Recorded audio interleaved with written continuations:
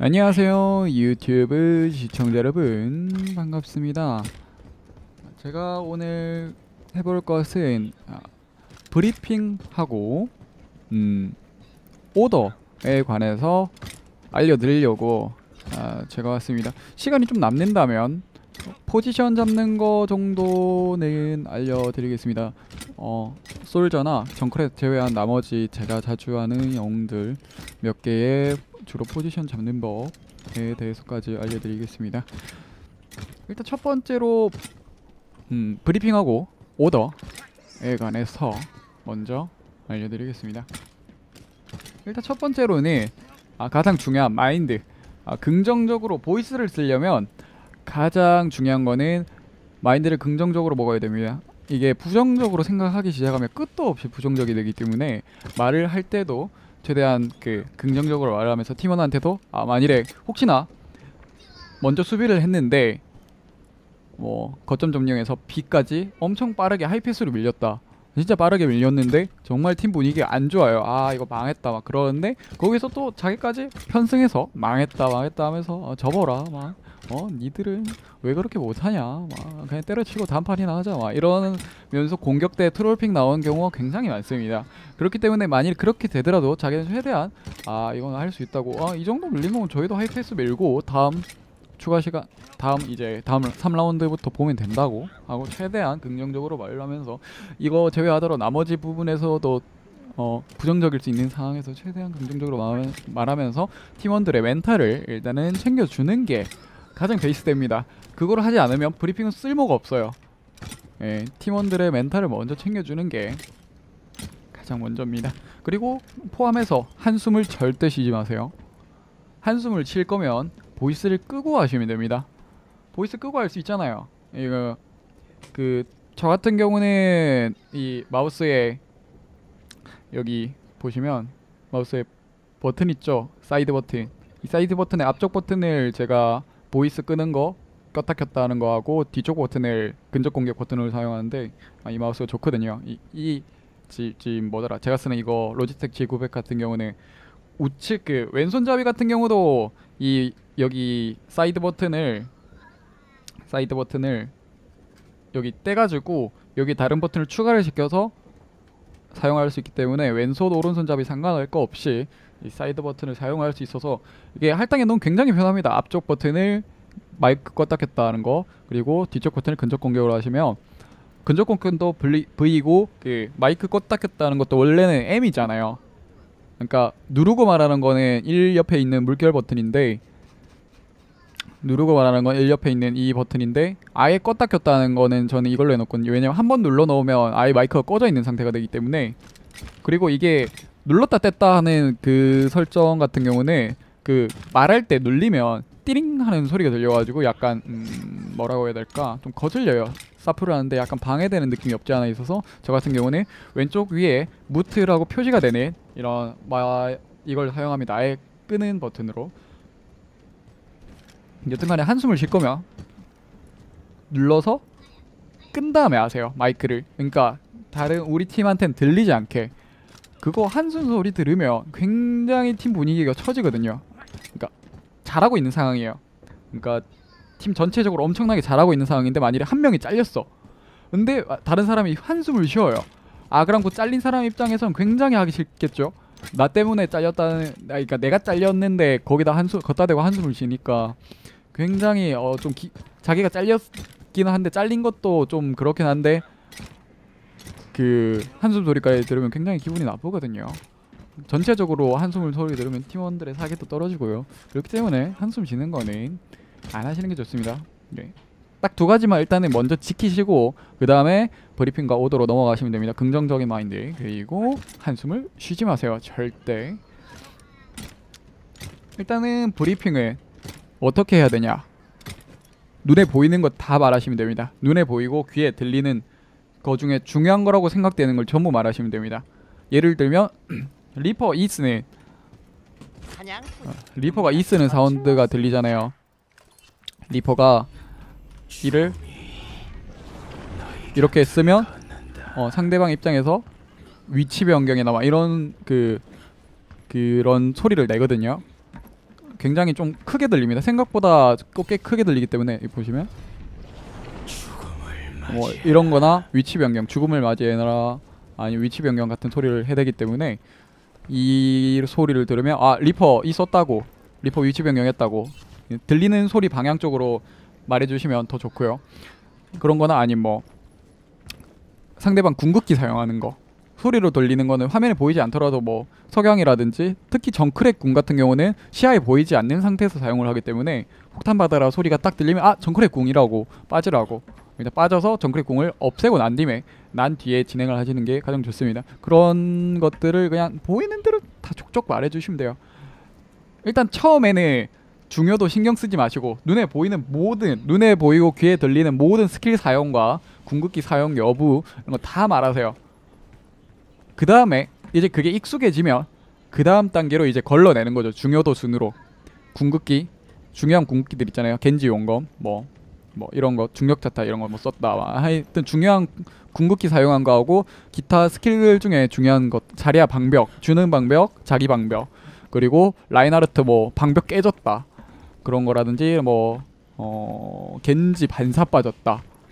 어, 굉장히 중요하거든요. 뭐 디바 매트릭스 지금 거의 다 썼으니까 어, 뭐 자리야님 중력 자탄 쓰셔도 돼요까지 이렇게 응용을 하시면 쓰면 됩니다.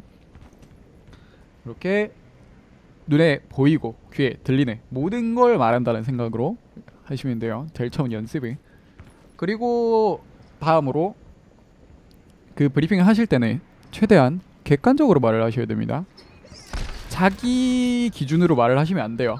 그러니까 뒤에 누구 이런 거 말씀하시면 안 돼요. 그러니까 팀원하고 같이 있는 상황이면 뒤에 누구 이렇게 말씀하셔야 되는데 자기가 막 트레이서, 겐지 같은 거에서 적 팀을 휘젓고 있어요. 그러니까 팀원들은 네, 명- 다섯 명이 뭉쳐 있는 상황이고 뭐 이쪽에서 뭉쳐 있는 상황이고 저 같은 경우는 이쪽에 나가서 막 이렇게 있는데 만일에 이쪽 방향에 어 적군이 간다. 그러면 제 방향에서는 뒤쪽이죠. 그러면 뒤에 두고 간다고 말하면 우리 팀 입장에서는 뒤가 아니고 앞이거든요. 여기 앞에 보이는 적이기 때문에 그렇게 말씀하시면 안 되고 일단은 거점 수비를 한다면 거점을 기준으로 말씀해 주시는 게 가장 좋습니다. 특히 A 거점 뭐 눈반이 A 거점 같은 경우에서 막으면 정면 올 수도 있고 지하로 올 수도 있고 오- 오른쪽 2층 올 수도 있고 예 이렇게 오른쪽으로 돌아올 수도 있죠. 내 구간이 있습니다. 그렇게 기준으로 말씀을 해주시면 굉장히 중요해요. 거점 기준. 수비 측인 경우엔 거점 기준으로 말씀해 주시면 좋고. 쟁탈전 같은 경우는 어떻게 될까?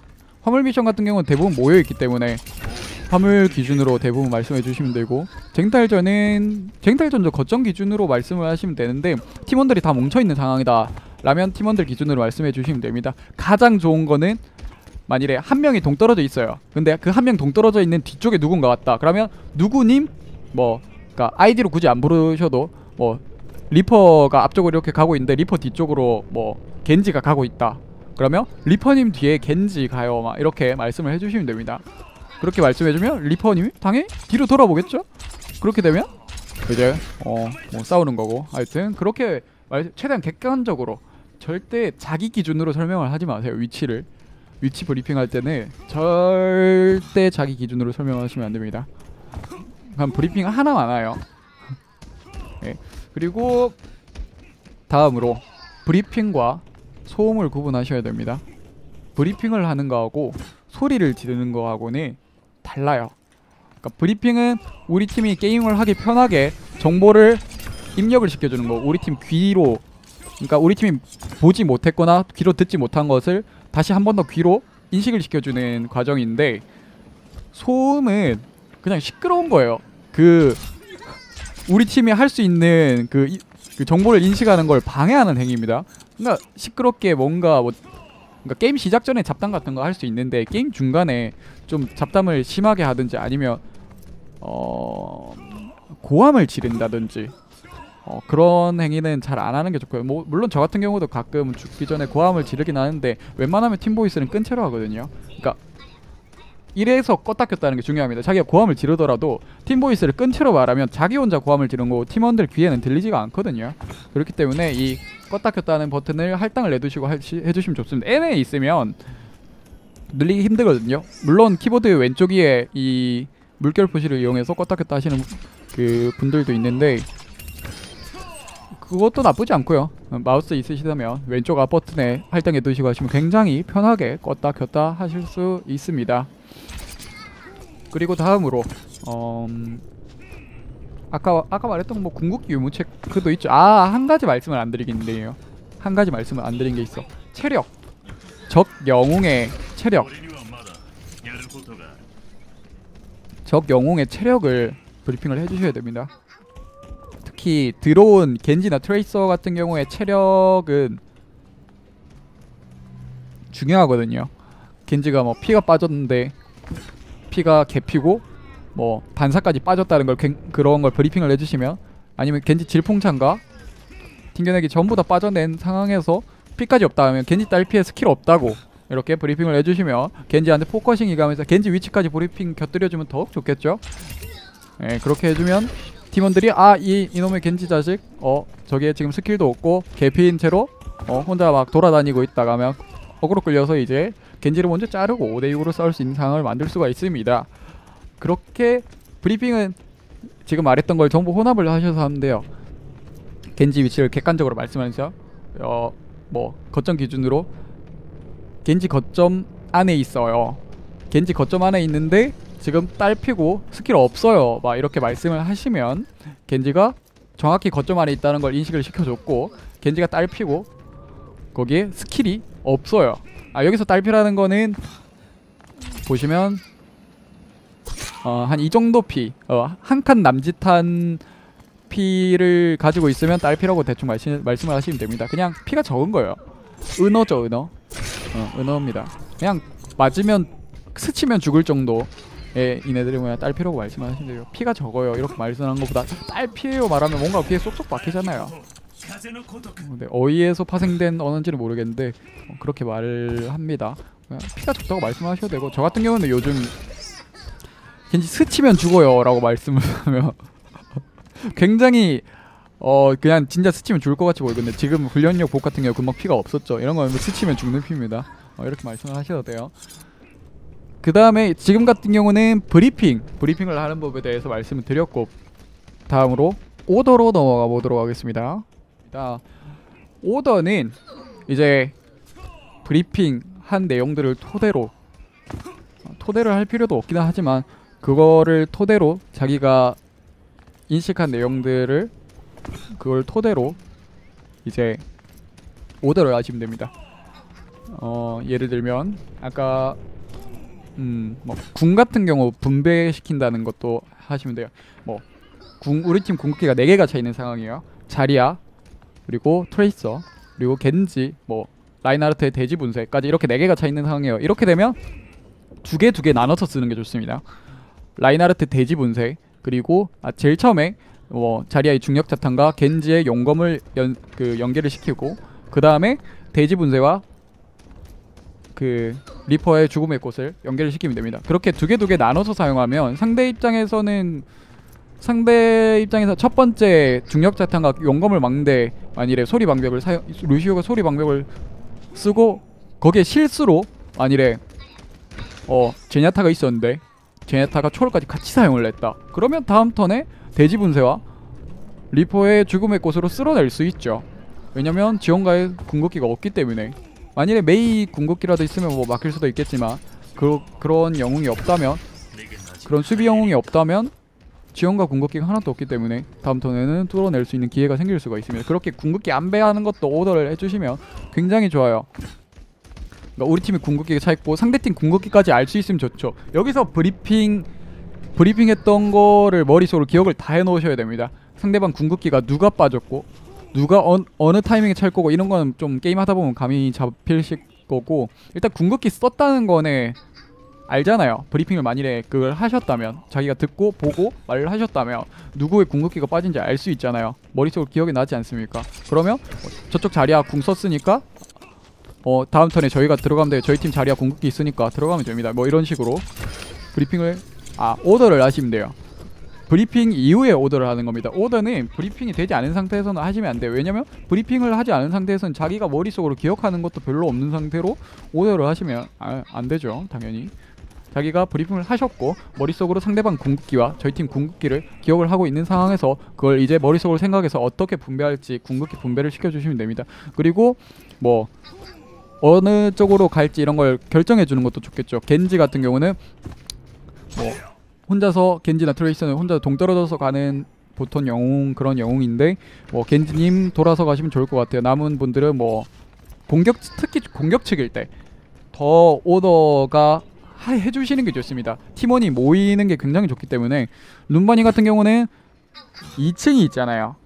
웬만한 보통은 2층으로 가는 편이고 만일에 막혔다 싶으면 막혔다 싶고 조합이 우리가 2층을 밀기에 좋지 않은 조합이고 상대가 2층을 막기 좋은 조합이다 싶으면 뭐 지하로 가든지 아니면 오, 왼쪽으로 돌아서 가든지 공격 기준으로 왼쪽으로 돌아서 가든지 아니면 정면으로 갑니다 보통. 지하로 갈 때는 보통 2층을 가는 것처럼 페이크를 친 다음에 걸어서 앉아서 가죠. 앉아서 가면 발소리가 안 들리기 때문에 그렇게 갑니다. 그렇기 때문에 오더를 하실 때어 아 2층 뚫기 힘든 것 같은데 우리 지하로 지금 모인 다음에 걸어서 발소리 안 들리게 걸어서 가죠. 하- 그렇게 할 수도 있고 리스폰을 맞춘다는 오더를 하실 수도 있어요. 만일에 잘렸잖아요. 한두 명이 잘렸어요. 그러면 한두 명이 잘린 채로 두, 들어가시면 4대 4명 5명만 들어가는 거기 때문에 상대방 6명을 당연히 수적 우위가 될 수밖에 없어서 안 돼요. 그러니까 한 번 빠졌다가 모여서 가죠. 그러니까 6명 respawn을 맞춰서 그런 식 오더도 하실 수 있고 오더 할 수 있는 건 굉장히 많습니다. 네.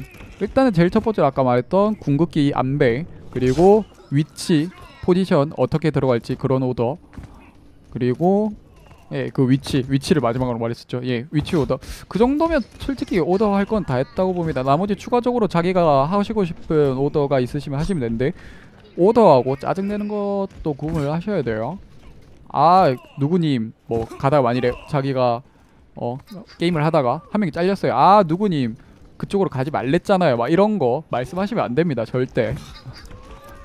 아 누구님 잘렸으니까 아 누구님 잘려가지고 아 지금 아 막 이러면서 한숨까지 곁들이면서 이렇게 하시면 절대 안 돼요. 그냥 아 누구님 잘렸으니까 respawn 맞추고 맞췄다가 여섯 명 다시 모여서 가요. 막 이런 식으로 굉장히 약간 up된 목소리로 활기찬 목소리로 말씀하시면 아 팀원들이 아 한 명 잘렸지만 한 명 또 기다리면 돼요. 뭐 그런 식으로 생각할 수도 있고 만일에 한타를 해서 여섯 명을 했는데 싸우다가 졌어요. 아, 아 아까 아까웠네. 아 이번에 누구 궁극기하고 누구 궁극기 있으니까 뭐 한번 더 한 번 더 가보죠. 몇초 아, 아직 시간 많이 남았어요. 뭐 이런 식으로 계속 어필을 해주시면 팀원들이 굉장히 사기가 높아져서 아 우리 팀 이길 수 있겠다. 뭐 그런 식으로 생각을 하실 수 있습니다. 아 제가 말씀을 하나를 안 드렸네. 아, 오더 부분에서 진짜 정말 정말 중요한 게 하나 있습니다. 그 처음에 픽을 할때 강제성을 절대 띄지 마세요. 그러니까 무슨 말이냐면 픽을 할 때 내가 만일에 pick을 했거나 아니면 전체 팀원이 전체가 pick이 된 상황이에요. 여섯 명 다 영웅을 전부 선택하는 상황에서 그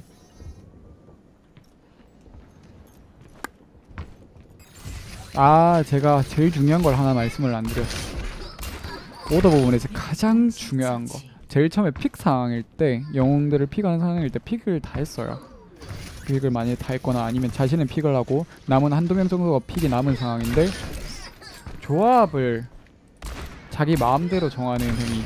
그러니까 조합을 권유하는 거는 괜찮아요. 그러니까 권유하는 식으로 말을 하는 건 괜찮은데 아니, 누구 누구니 뭐 뭐 좀 하면 안 돼요. 막 이런 식으로 해가지고 조합을 강제성으로 그러니까 그 남은 사람이 그걸 못 하는데도 불구하고 계속 그걸 해라고. 만일에 혹시라도 다른 영웅을 뽑았어요. 만일에 자신이 마음에 안 드는 영웅을 뽑았어. 어. 저 같은 경우도 많이 듣는 상황인데 제가 정크렛을 뽑았어요. 하나무라 수비 같은 거나 뭐 아누비스 수비에서 괜찮은 픽이거든요. 물론 지금 메타에서는 메이가 정크렛보다 더 좋은 거는 저도 압니다.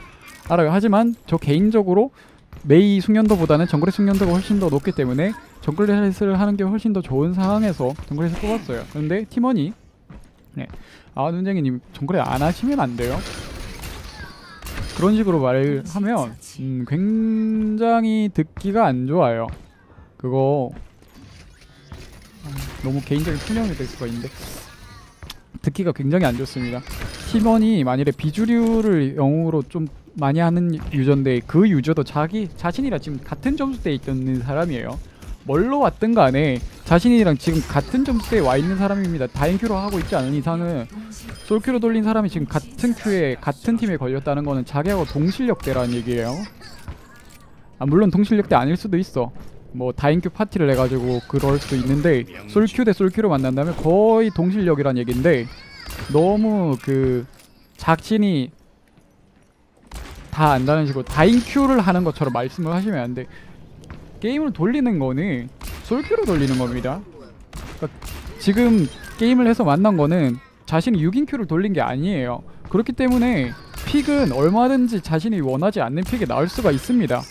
그런 상황에서도 이겨야 그게 자신 실력인 거고 그리고 팀원이 잘하니까 뽑았겠죠. 트롤 하려고 뽑은 건 아니지 않을 거 아닙니까? 그러니까 이기려고 뽑은 거잖아요. 그 같은 팀원도 무슨 영웅을 뽑았든 간에 적어도 지려고 뽑은 건 아닌데 그 시작부터 약간 파토 내는 듯한 말 말로 그렇게 픽을 픽을 매도를 하는 거지.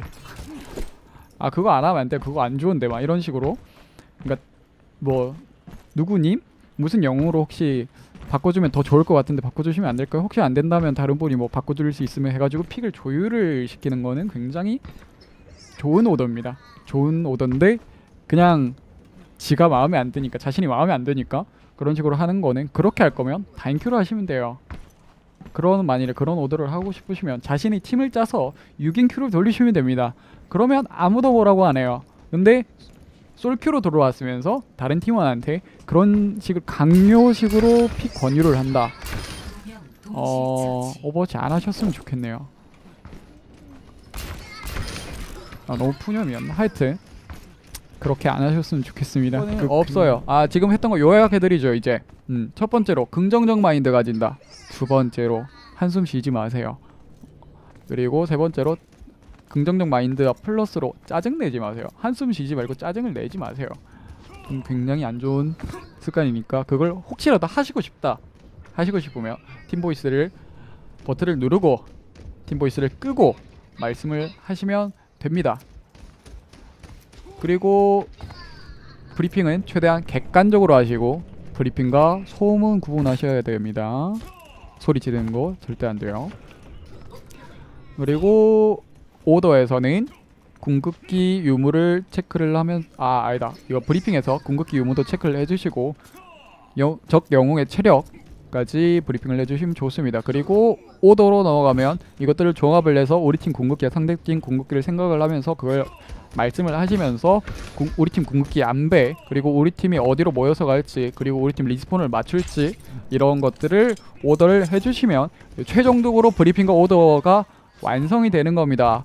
이것들이 종합적으로 되신다면 이제 나머지는 팀원들이 보이스에 들어오는지 어, 이제 나머지가 아니고 제일 첫 번째로 생각해야죠. 팀원들이 보이스에 안 들어왔으면 쓸모가 없어요.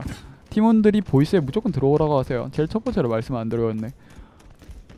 말이라도 안 되면 듣는 거라도 하라고 하세요. 듣는 거라도. 말을 못하도록 듣는 거와 안 듣는 거는 엄청난 차이가 있기 때문에 네 명만 듣고 두 명은 오더를 못 들으면 두 명은 따로 가거든요. 네 명은 뭉쳐서 가더라도 그렇기 때문에 게임에 굉장한 지장이 갈 수가 있기 때문에 듣톡이라도 하라고 하십시오. team voice O를 누르시면 P를 누르시면 이렇게 돼 있으면 들어, team voice에 들어와 있는 거고 끄시면 team voice에 안 들어와 있는 거기 때문에 여기 보시면 플레이어 몇 명인지 표시가 되거든요.